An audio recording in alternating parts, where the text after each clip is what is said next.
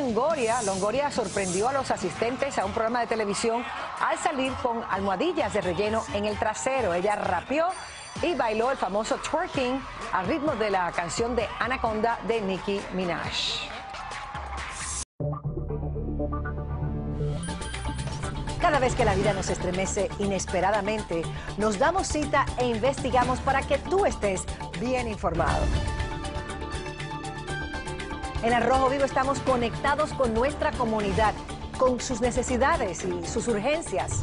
A las 4, 3 Centro. Somos tu primer frente de información.